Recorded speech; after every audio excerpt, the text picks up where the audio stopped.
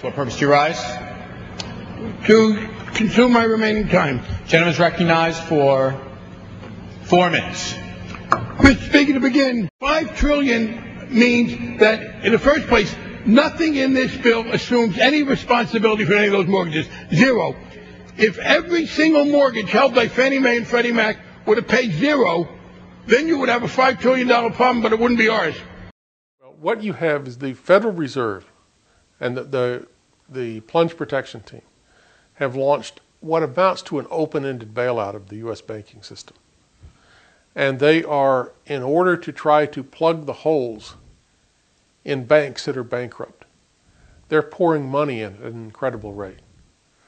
If you look at the uh, the emergency facilities that they've created the, for commercial banks and for investment banks, back in December they started with a $40 billion limit of loans that were supposedly to enable us to get through what they called the credit crunch, to get through the end of the year. And this was supposed to solve the problem. And then after that, everything was going to be okay.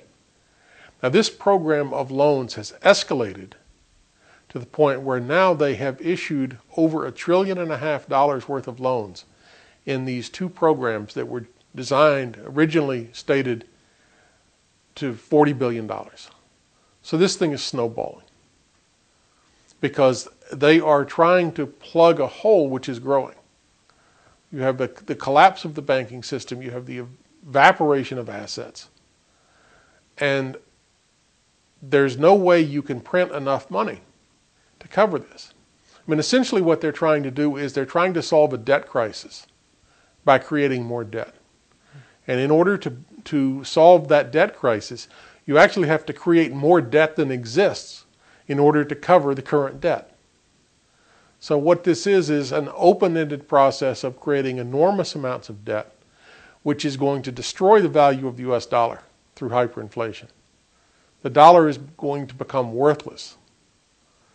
And this is the process that we're seeing now with the prices, price increases in oil and food and other things. That we have a, an escalation, a, a loss of the value of the dollar. And under hyperinflation, the the currency basically loses its value faster than you can pump it out. This is what happened in Weimar Germany, and this is where we're headed now. And these bailouts are just the beginning. And this, the chart that I produced that you'll see is only a limited portion of this bailout. If you take the money that they pumped in to support the, the quote unquote housing bill, which is actually to support mortgage paper, the money that's been lent from the federal home loan banks, the stimulus checks, you know, they've pumped in an enormous amount of money already. And the situation is worse than ever. Now you have a situation where the Federal Reserve refuses to raise interest rates to defend the dollar. And the whole system is crashing down. They're doing exactly the wrong thing. What needs to be done is this whole system needs to be shut down, needs to be put through bankruptcy reorganization. We need to start cleaning it up.